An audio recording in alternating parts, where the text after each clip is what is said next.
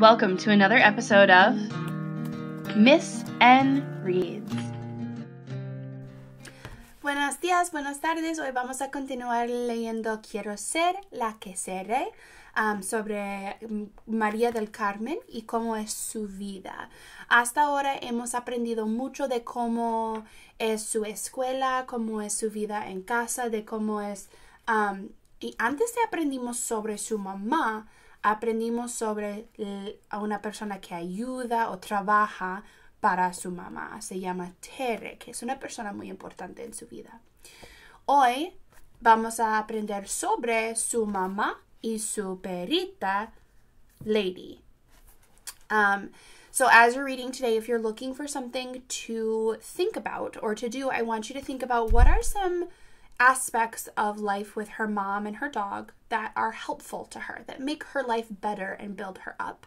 And what are some aspects that not necessarily are bad, but might be difficult for her um, or obstacles that she might have to overcome? So, ¿Cuáles partes de lo que vamos a leer hoy son um, ayudante o ayudable a ella, que se apoya su vida o que hace que es mejor? ¿Y cuáles son unas cosas que necesita hacer, que, er, que tiene que hacer con ella, que, con, que son uh, un poquito difícil o causa dificultades para ella?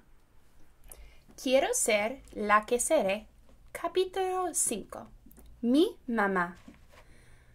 Mi mamá no supo nunca que Tere me llevaba al mercado y me compraba pañuelos y anillos corrientes y cazuelitas de barro y granadas y mandarinas y plátanos, porque cuando regresábamos subía a esconderme en la azotea donde estaba el cuarto de Tere y allí esperaba jugando a muchas cosas o dibujando o dándole de comer a mis pollitos, acompañada de mi perra pastor Lady, a que dieran las de las dos de la tarde para bajar con mucho cuidado, como si llegara de la escuela.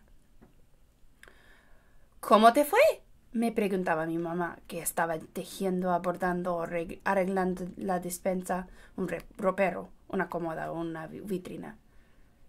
Le contestaba la verdad. Muy, me fue muy bien, respondía, pero no le informaba que no había ido a la escuela porque sabía que se enojaría o despediría a Tere. Mi mamá nunca se dio cuenta de que no iba a la escuela porque cuando firmaba las calificaciones solo se fijaba en que reprobaba a español o francés.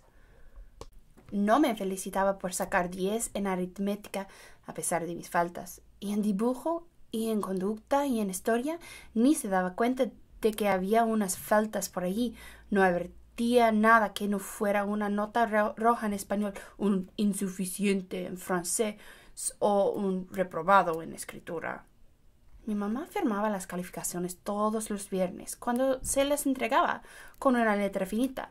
Rosario Tejera, Tejera Veda de Campos. Un día le pregunté, ¿qué quiere decir BDA?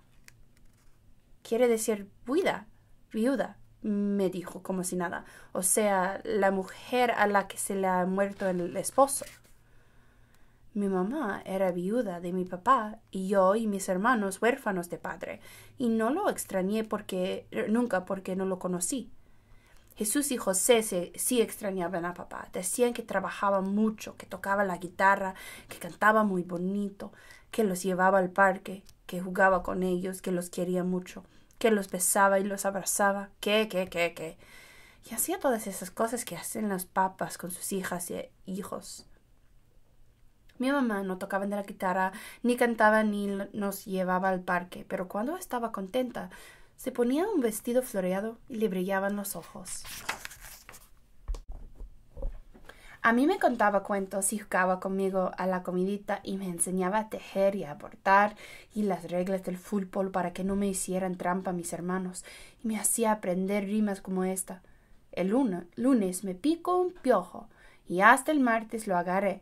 Para poderlo lanzar sin correatas reventé. Para poderlo alcanzar ocho caballos cansé. Para poderlo matar cuatro veces lo apreté. Para poderlo guisar a todo el pueblo invité, y con los huesos que quedaron, un potrerito cerqué. Mi mamá me besaba y me abrazaba y jugaba conmigo y hacía todas esas cosas que hacen las mamás con sus hijas e hijos.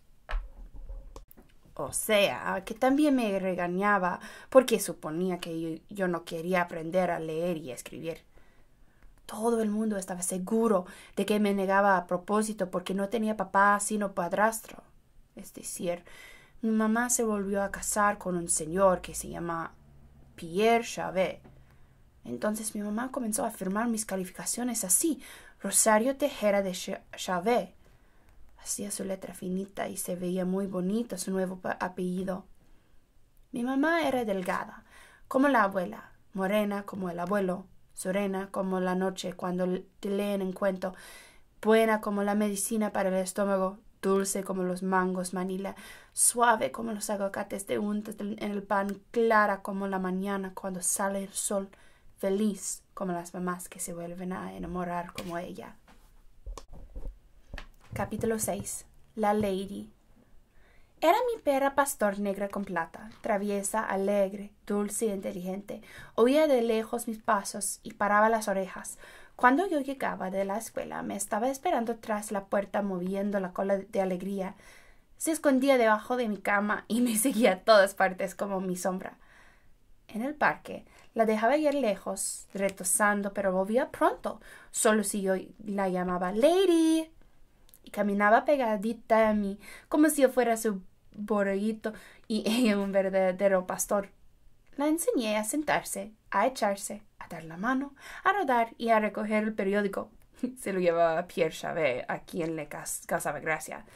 Nadie podía regañarme, ni alzarme la voz, ni levantarme una mano porque la ley gruñía en el acto, avisando que estaba ahí para protegerme. Si yo estaba contenta, se ponía contenta. Si yo estaba triste, se ponía inquieta. Su apego a mí lo demostró siempre, quizá porque tuvo mi cariño desde que llegó pequeñita. Por eso en la casa decían tu perra. Ve a ver a quién le, la, ladra tu perra, me decía Terre.